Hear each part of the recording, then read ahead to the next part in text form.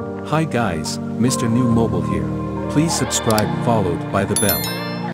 So Samsung has seemingly given the whole world a glimpse of the upcoming Galaxy Z Fold 3 and Galaxy Watch 4 through a new official video. So the video is said to be Voices of Galaxy has app developers talking about Good Lock and how the platform changed and evolved over the years. More importantly, one of the developers featured in the video can be seen briefly using a Galaxy Z Fold 3, all the while wearing the Galaxy Watch 4 on their wrist. The Galaxy Z Fold 3 is covered by a leather case, leaving the camera housing partly visible. Needless to say, the video is not very revealing, but the bits and pieces that are naked seemingly match all the design elements that were revealed through leaked renders last week.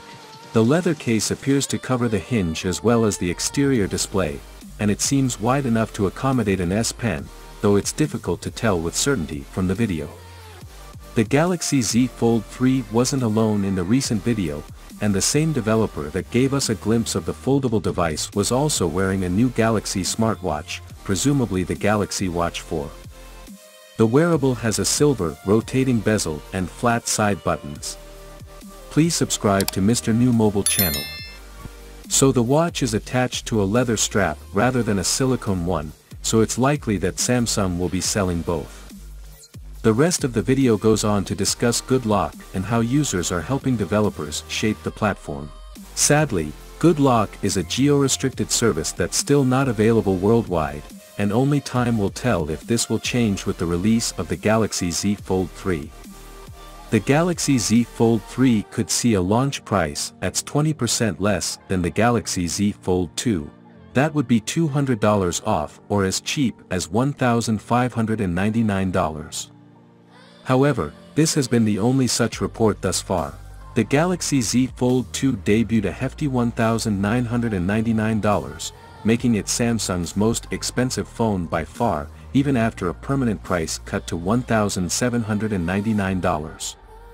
The Z Fold 3 will cost between 1.9 million and 1.99 million won, which works out somewhere between $1,660 and $1,750.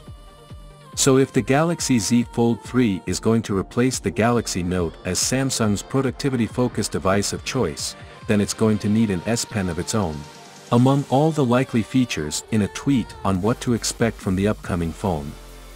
So the confirmation of the S Pen support is coming, as Samsung readies the Z Fold range as a solid Galaxy Note successor, and we have more or less official word from the FCC certification that the Galaxy Z Fold 3 will include a stylus. That is all the latest news we have gathered so far, are you waiting for the Galaxy Z Fold 3 let me know in the comment below if you are new here please subscribe, like the video, comment thanks for watching see you on my next video, one peace out.